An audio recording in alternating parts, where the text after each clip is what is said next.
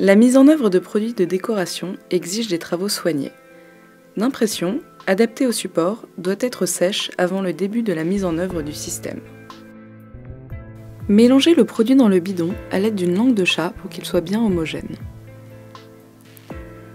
Utilisez pour la première couche un rouleau microfibre 10-14 mm que vous n'oublierez pas d'ébarber avant utilisation. Pour la seconde couche, une époussette souple en fibre de soie sera nécessaire. Le produit étant en phase aqueuse, vous devez le déposer et le répartir sans le tirer.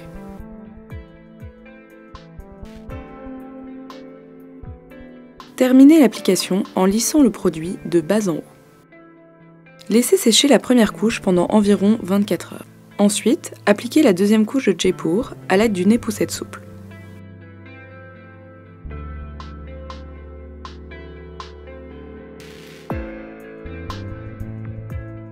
Déposez le produit de façon aléatoire en créant des mouvements irréguliers afin de permettre une répartition des particules métalliques. Ainsi, cela favorisera la captation de la lumière.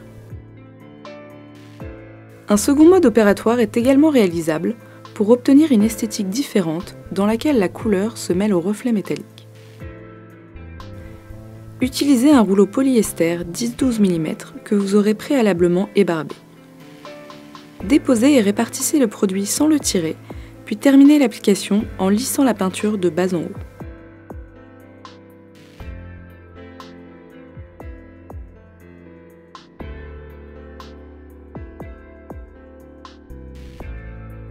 Laissez sécher la première couche pendant environ 24 heures. Ensuite, appliquez une couche de Jaipur à l'aide d'une époussette souple.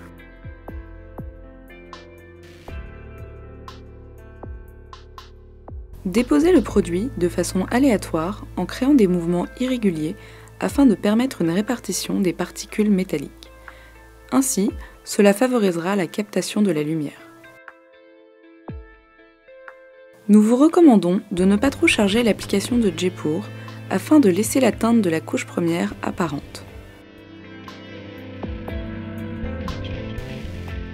Jaipur peut également s'appliquer sur les toiles à peindre. Laissez sécher 24 heures environ pour découvrir l'aspect final. Jaipur se décline dans une œuvre de 21 teintes, toutes réalisables en machine à teinter.